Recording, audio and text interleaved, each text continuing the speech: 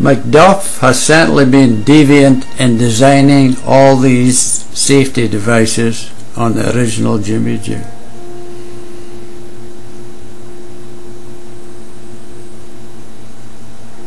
This hold down slides within the aperture of the original Jimmy Jig, finger control.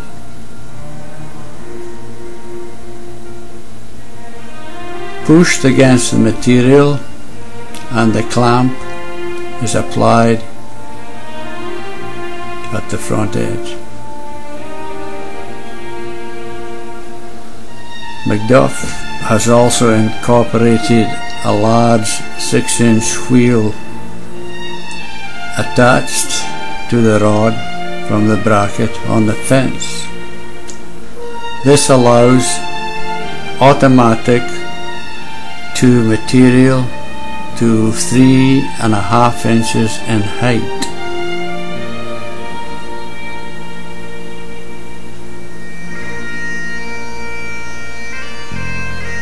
Pressure is applied on the edge of the hold down by using banding material and adjusting the hold down strength with screws.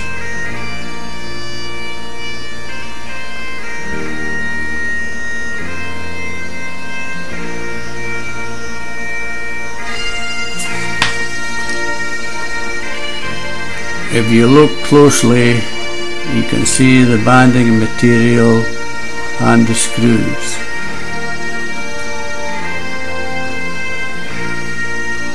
The wheel is all automatic by downward pressure applied by banding material pressing on the arm from the bracket.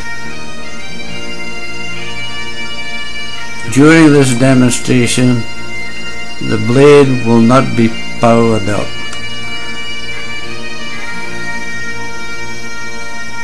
Adequate use of the push stick will automatically adjust to different heights of material. There's nothing on the market that's so automatic that I have found and will control kickback.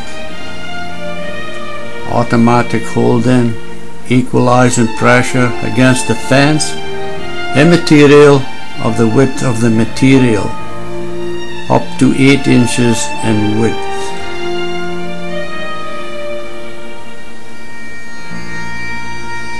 This video is just for demonstration purposes only to show what the innovation can accomplish.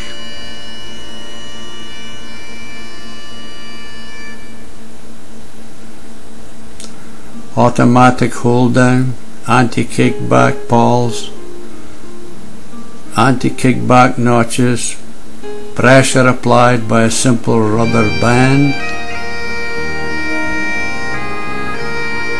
It's impossible to get a kickback with these devices. All automatic, up to 4 inches in height.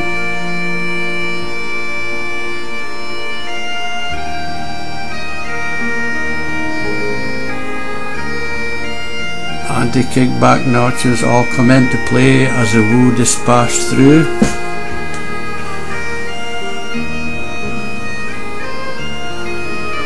Cheapy rubber band tension spring. Stretch the band for more pressure downwards. This material is 4 inches in height.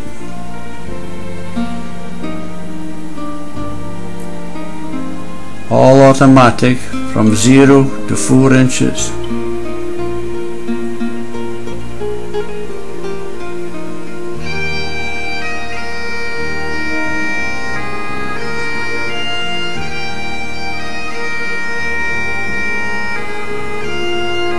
All systems have been proven to work.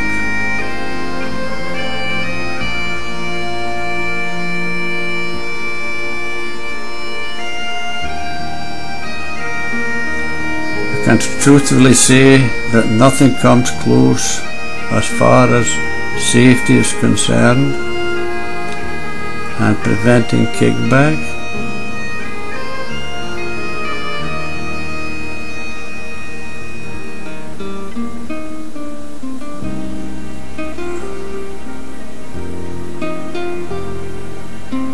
There's a combination of anti-kickback balls at different lengths which automatically adjusts to different heights of material.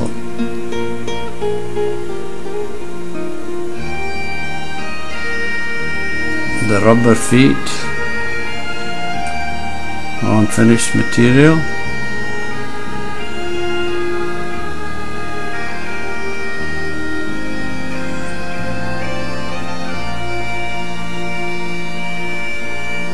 The overhead guard incorporates its own anti-kickback balls. Independent sides can be held up allowing close contact with the blade to the fence. This is a problem in many table saws. Thank you Slàinte mhath. Macduff.